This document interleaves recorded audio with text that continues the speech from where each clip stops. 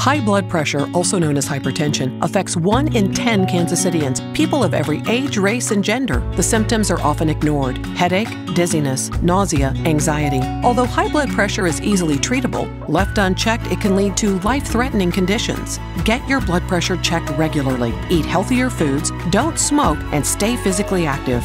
Don't let a silent killer go unchecked. Truman Medical Centers and the Kansas City Chiefs, partners for a healthy community.